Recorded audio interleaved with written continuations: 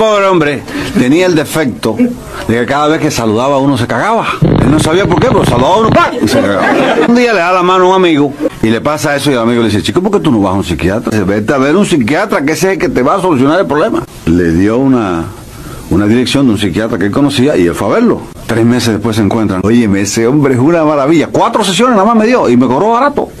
Cuatro sesiones y me curó, chico. Me alegro muchísimo porque ese era un defecto horrible que tú tenías. En medio de la calle, donde quiera te pasaba esto.